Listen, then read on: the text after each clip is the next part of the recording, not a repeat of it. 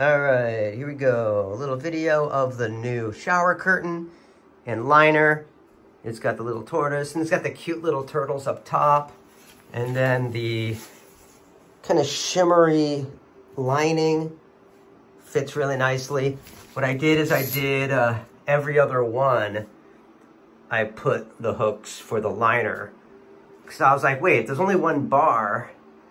How do you put the liner on with the shower curtain so that they fit together. I was like, oh, okay, I'll put them in between every single other hook.